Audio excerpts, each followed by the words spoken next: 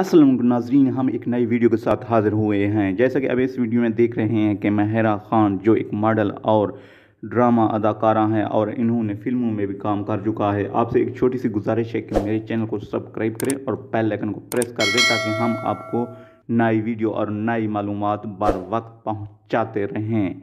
जुड़े रहिए चाहत वाइस के साथ। अब हम इस मुख्तसर वीडियो की तफसीलात की जानब बढ़ते हैं। जैसा कि आप में शुरू में देख चुके हैं कि महरा ख़ान और सुलेमान ख़ान की जोड़ी हिट होने वाली है।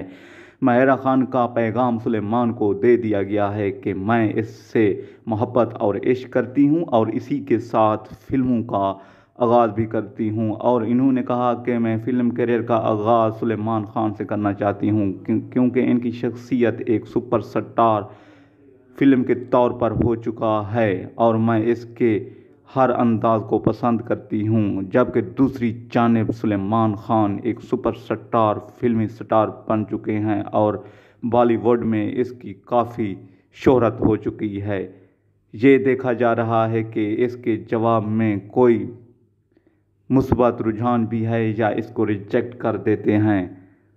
आगे इस चंद दिनों में ये कहानी ख़त्म होने वाली है या इससे कोई नई खबर का आगाज़ होगा?